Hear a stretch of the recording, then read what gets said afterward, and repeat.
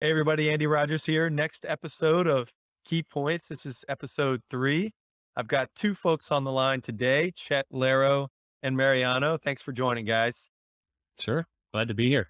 Yeah. Yeah. So, we're talking about the fun projects we've been doing over the last couple of years in pharma today, solving the seemingly unsolvable uh, drug delivery challenges. These are ones where you know, there aren't clear solutions, right? And there's all kinds of problems at play, user, technical, you know, you name it. Um, and we'll talk a little bit more about these, you know, throughout this episode. Um, but yeah, first let's do some some quick intros. Uh, Mariano, why don't you lead that off? Sure. Uh, Mariano Mohnpower. I'm a senior senior mechanical engineer here at Key Tech. Uh, I've been here about 10 years.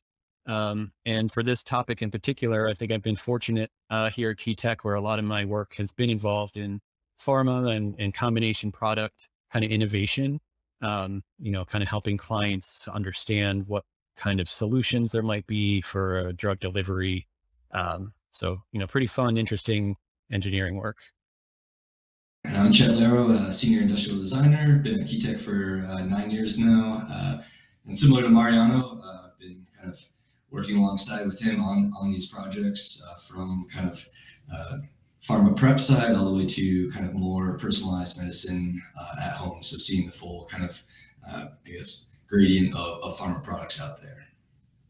Sometimes I think of you guys as thunder and lightning, right? You need both when you look at these projects, right? Like I said earlier, what are the user challenges and, and what are the technical challenges? So excited to have you guys expand on that uh, here in this episode. So, so unsolvable, seemingly unsolvable challenges in drug delivery, right? So we know there are larger volumes being injected, right, or infused, uh, delivered throughout, um, you know, a couple hours at times, right, in untrained, uh, with untrained users in in home and remote environments. So, how do you design a product that's easy to use that delivers your drug accurately? Very challenging to do when you get down into the details. Other challenges like preparing a lyophilized drug for administration. Again, if you have not looked at an IFU for a while or an untrained user, how are you going to prepare this drug correctly? We're working with oncology patients, uh, trying to administer drugs in, in the home environment as well. So when you start moving from the hospital to home, you know, these drug administration problems, um, you know, are, are even more challenging. Um, so we'll talk about those. And I think what it's not just a, a technical challenge or a user challenge, right? There's business challenges. So what are the trade-offs? How do you determine which architecture is is ideal, uh, you know, to proceed with? Um, how long is it going to take to get this to market? Um, so many variables to consider. How do we approach a unique challenge without a clear solution? Mariano, you want to start?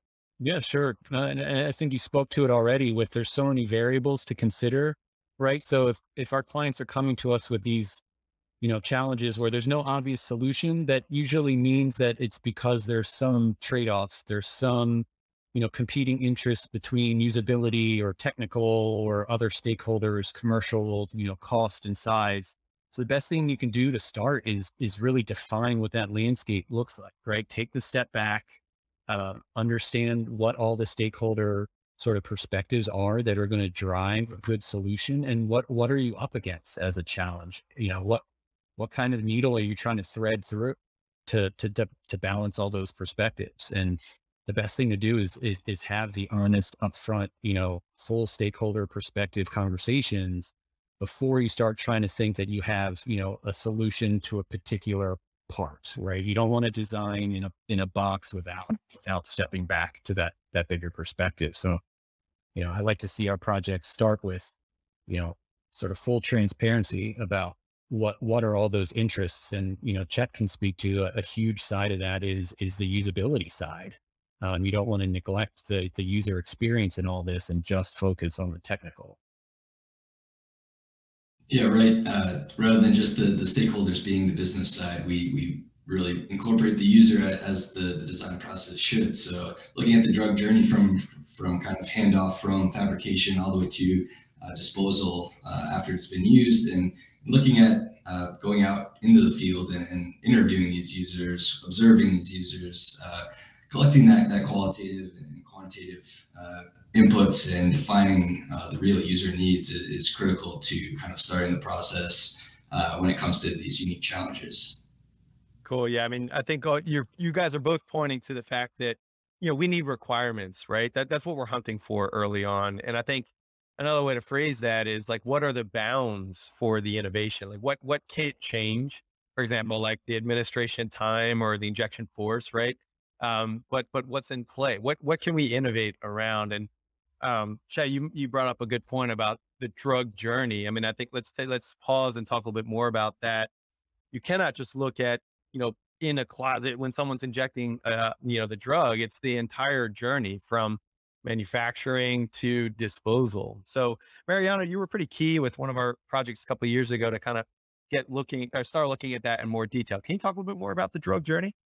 Yeah, absolutely. I mean, the the drug the drug journey. So the the idea of you know a, a pharmaceutical uh, container or, you know, vial or, or pre-filled syringe, right? That's going to have to be manufactured somewhere. It's going to have to be packaged. It's going to have to be, you know, inventoried and, and make its way to the patient through some, you know, ho- hospital, um, or, you know, direct, direct to home.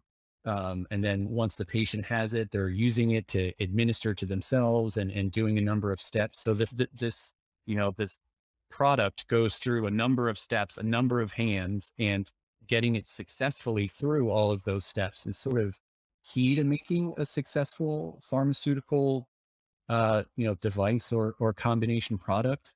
Um, and you know, when when we start to think of the technical challenges of administration, you, you really kind of you need to step back and think of like there's a whole system of this product that's working together here. So you can't just focus on, you know, certain particular technical feature being a solution for just that one step without thinking how it might impact the other steps. And, and, and, you know, sometimes correct use or uh, compliance might be affected by, you know, an upstream step like how it was packaged or, you know, what information or what steps the user had to take along the way of administering. So I think you have to, you know, think a little bit upstream and downstream of any particular technical event to see how it impacts the, the full usage of the device. No, that's great. Yeah, and and uh, as we were prepping for this this interview, we you know we talked a little bit more about this, right? And Chet had brought up the point about just even looking at the journey, eh, building empathy for uh, the patient. What what does that mean? Well, uh, I think it's more so for building empathy across the whole team, uh, understanding what the users are going through, uh, what their stresses might be at the time, and and it really helps to, to kind of ground uh, the concept development and, and, kind of really putting yourself in uh, the shoes of, of the users and, and kind of going out there and observing and, and building these these drug journeys to really emphasize that and kind of uh, team members throughout the, the phases of, of these programs can kind of look back and, and really understand what's going on from a user perspective. So we're talking about the drug journey and you know we're laying the foundation for solving these problems, right? Where there's no clear solution. How do you, how do you deliver a large volume of fluid that historically has not been delivered or administered before? Oh, and, and oh, by the way, do it at home with an untrained user. So, um, you know, the user experience is uh, most important. So when we sit down to, to brainstorm these ideas, how, how do we, Chet, maybe I'll let you take this one. How do you prioritize, um, you know, usability in the ideation phase? Because you know, being an engineer personally and Mariano being an engineer, like you want to just jump into the the technical kind of solutions, but how do we prioritize the user um, uh, in these sort of situations? I mean, we're we're looking at it from start to finish again, and just thinking about what the the correct methods would be for for instructing safe and effective use. So whether there's there's prompts within our brainstorm structure that, that are identifying things that are out there already, uh, or that we've, that we've used in the past that we know are reliable. Uh, so uh, I guess it's just the nature of, of the structure uh, of the brainstorm and, and, kind of highlighting certain aspects along the way that might have uh, high risk that we want to kind of tackle first and then come back and, and kind of pair some tech solution with that. Right, right. So out of the box experience is usually the first first interaction. Yeah, it's it's project specific. I think depends on where uh, where that that uh, enhancement or kind of opportunity lies. If if the project product has great packaging already, and when we're looking for more kind of a mechanical lock solution or something, maybe we focus on that. But if it's kind of a start to finish uh, phase, yeah, we'll we'll be looking at from that that open box experience, what that labeling is they see first, instructions, all the way through to kind of the disposal again. So case by case basis on, on really how how we're structuring these these brainstorms.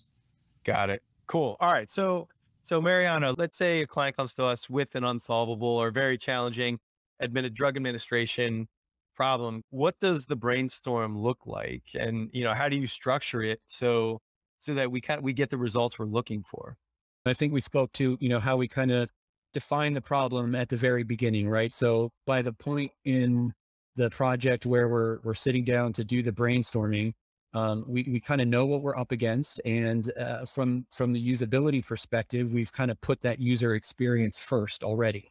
Um, you know, we want to ensure that the technology solutions, you know, the mechanisms, the the the architecture of some electromechanical device, maybe, uh, are all going to fit within or you know achieve a certain use experience. So, you know, we know what the problem is. We know what we're trying to achieve. And then we set up, depending on the project, either very specific brainstorms on how do you move fluid from a large container through, you know, small bore tubing and an injection needle, you know, into a, a patient over an extended period of time and, and start looking at all the potential solutions that might be there for, you know, hardware architectures and see which ones uh, you know, maybe really best, uh, you know, best enable a certain use experience. Um, or maybe the, the problem is, is wider open and, and it's, you know, more about how do you, how do you streamline a set of steps to prepare a drug, um, that, you know, is easy for the user to do. And you might, you know, you might sketch up multiple different ideas for, uh, you know, different types of, of, of plastic connectors or different types of plumbing systems, you know, little P and ID sketches of, of how the fluid might need to transfer, uh, you know, coming up with lots of technology ideas and then try to lay them back on that drug journey and say, okay, which one do I really think I can piece together here to, to create that use experience? So, you know, depending on the size of the challenge, I think the brainstorm goes from, from very focused or you try to, try to have an end to end, you know, type uh, brainstorming event, or maybe you have, you know, a combination of the two and, and keep iterating because you know, this design cycle can be very iterative to, to try to balance that usability and technical. Right. So who's, who's in that room though? So, yeah. you know, you talked a little bit about, you know, ways to start thinking it. Yeah. But like who's actually in the room and, and why do you think Key Tech is, um, you know, successful at, at, at this? Yeah. I mean, I think that's one of the things I love about working at Key Tech is that anytime we have a, a, challenge that we're up against, we're going to we're going to pull in all kinds of different perspectives. I mean, between disciplines, mechanical engineers, electrical engineers, computer software engineers, you know, industrial designers, um, all with different project experiences over the years, right? That some have worked on diagnostic instruments, highly automated electromechanical systems. Others have worked on smaller, you know, injection molded parts for packaging or containers and, you know, accessories to certain, certain products. Part of what's valuable in, in those brainstorming events is, you know, not trying to make it one type of engineer, you know, the same way you're, you're going to have to accommodate different types of users, right? We want to have different perspectives in the room um, to try to help us solve that and, and, you know, kind of acknowledge everybody's different take on a solution um, and see how we can maybe piece a couple different ideas together to find a good balance. Got it. Yeah, I totally agree. You need all, all kinds of perspectives. And, you know, sometimes when we're talking with clients, it's, yeah, client, do you want to join? Like you bring more empathy, Chet, to use your word, from, you know, the end patient, just talking with these patients, different drug uh, franchises within these global pharma um, companies, bring that empathy into our brain brainstorming session. So, um, Chet, when you're leading brainstorms, I guess I'm curious, where do you find inspiration, um, you know, for, for these ideas? As product designers, we're always looking at what's out there currently. So uh, packaging, uh, kids toys have a lot of these mechanisms that we, we we're familiar with. Uh, food industry bottles, uh, packaging of other fluids. Uh, so it, it, comes with being a consumer that we're always kind of looking out what's out there, uh, understanding what new products are coming out with, what what mechanisms are, are being employed in in devices that aren't necessarily medical uh, devices. So we may bring uh, up some uh, how how you might store uh, power tools in a, in a garage, for example, for some brainstorm of, of needing to fasten something, and just looking at, at what else is out there and, and bringing those ideas into uh, kind of onto the table initially and early on in, in brainstorm sessions. Got it. Yeah, actually, as you were talking, that reminds me of remember when I brought in or, or shared you the video of the Taylor Swift uh, concert tickets, right? Yeah. There, it was this fancy out of the box experience with like a lanyard, and it was like a you know integrated display with a, with a video like playing. So, I mean, all of that is is definitely. I mean, we're seeing it transfer from consumer consumer packaged goods to to healthcare. So, um, yeah, always looking out. That's great. Let's talk a little bit more about the types of, of challenges. And uh, Mariano, I know you've given a, a couple talks now. Um, talk a little bit about some of the challenges that you've seen technically, right? So, so large volume, um, handheld, at home, untrained users. What what are you seeing? Yeah, I, I think you, you named a few there. Um, you know, large volume delivery. What what kind of containers are these large volumes being stored in? Um, how how are you accessing or piercing that container reliably inside of a you know a body worn injector type uh, device right? So you have you know technical challenges of of hitting the right you know forces and and flow rates and being able to uh, you know sustain that delivery for an extended period of time which you know kind of hints at you know batteries being a big challenge right? We're going to try to potentially move a lot of fluid in over an extended period of time uh, maybe that fluid is viscous. Maybe that fluid has to be uh, sequenced or combined with another fluid during the administration. Um, these are sort of new and unique challenges that are happening. And, um, you know, the forces and, and actuators within these devices are, are going up and, but the battery has to stay small and, um, you know, be able to, to extend the delivery and, and monitor potentially, right? So vision sensors. So you have this, you know, competing, you have these competing requirements for more power, but smaller size to make it comfortable to wear, um, to make it, you know, not have too large of a box, not be too expensive, right? So packaging, shipping, you know, business, you know, kind of cost targets. It's, it's the, the technical challenge is really becoming finding a way to balance, um, you know, all of those sort of competing interests for success of the product into something that you know is still accurate reliable um, easy to use um, you know able to be powered able to monitor for these extended periods of time for something like large volume delivery.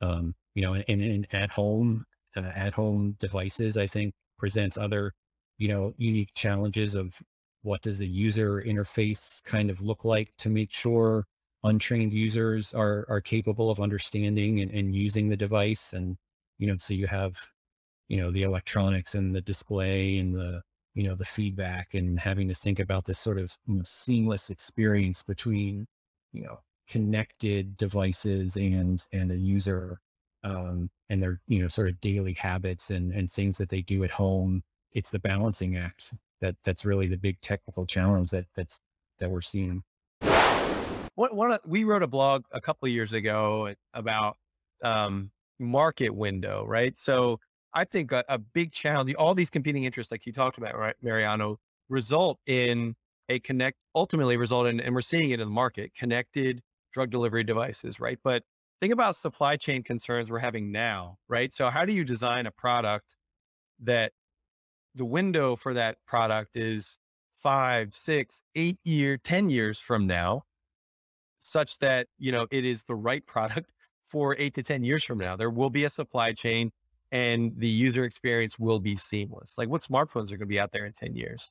Um, so I, to me, I, I try to, we try to like take the long view, at least when I'm talking with clients on, on what the, the, um, ultimate product and ultimate user experiences you're looking for. But there are some real challenges. And I think we, uh, with creating a seamless user experience, designing for it today and having it apply 10 years from now, um, I think to mitigate that, you know, in, in, in talking with our EEs and our CEs here at Key Tech, we just have to uh, maintain close relationships with, with our suppliers. Um, folks like the folks at Arrow or, you know, even the larger CMs like Flex, pick their brain on what are they doing when they, when they go to scale these products? Like how, what are the, the vendors, the component vendors we should be talking with now um, that will be around in the, for the long run? Seeing a lot of that. So let's talk more specifically about this large volume delivery and let's let's call it a an at-home body worn device, right? Because you can't hold an, an auto injector for, you know, longer than, you know, 10, 20, 30 seconds before, you know, you're going to have use errors and it's just not acceptable, right? So um talk a little bit, Mariana, uh, uh, sorry, Chad, let's start with you on um, developing a large volume body worn device. What are some of the challenges that that you've seen uh, just in maybe more broadly, just body worn devices from a user perspective? I don't know if we want to jump right into body worn because uh, we, we like to start with kind of architecture definition and maybe the use case drives it to be more tabletop or, or kind of handheld, uh, but not kind of at the injection site. So, uh, but body worn, as, as Mariano was mentioning it, I mean, it all comes down to that size and fit and uh, minimizing uh, the number of use steps uh, for setup and, and, kind of minimizing that, that time that the user has to be uh, kind of wearing it and interacting with it. So uh, it's probably the, the main challenge there is is kind of that, that size form factor fitting around the, the needed volume and, and power constraints and how that, that is I guess secured to the body and, and different methods of doing that comfortably. Got it. Mariano, from, from your from the technical perspective, what do you think are some of the challenges there? Yeah, I uh, th- th- this kind of this borders technical and, and, usability a little bit, but um, I think this idea of negative transference, this idea of users having their own biases or perspectives or or you know experiences in their life with other similar devices or you know their own interpretations of how these at home body worn devices might be used they're going to introduce behaviors and potential use errors that you almost can't expect as an engineer because none of us can have every potential user's perspective and, and what they've, you know, what they've worked with before or how they think that the device is going to be used. So on, on the technical side, I think this, the challenge is, is really to take a step back and, and, and let use studies and let user feedback and, uh, you know, input from from different use cases really, uh, really define the technology needs um, and try to experiment with with ideas that may not that that aren't obvious in the beginning, but you know maybe work with users experience in a way to create a successful mechanism you know and, and, and this talking about a high level is kind of weird but like if i use a specific example i'll try like you know, something about the way you, you hold the device and press a certain button, maybe to engage the injection mechanism. Maybe there's, there's something about the form that suggests it's grabbed a certain way and they squeeze a certain way that, you know, technically creates a force or some interference or something that, that the mechanism doesn't work right when you hold it like that. But technically on, on, the engineering side, we could say, oh, well, it's been designed to be used a certain way and it functions when it's used that way. But you've, you've missed a real, you know, you, you've missed a challenge there if you don't acknowledge, well, you know, the users may have experience with something that looks similar and they, you pulled it a different way and that could introduce a, a different force or action that that's going to mess up that mechanism. So I think uh, being open to that iteration and being open to that that input from the usability side to rethink uh, the technical solution is is is really important.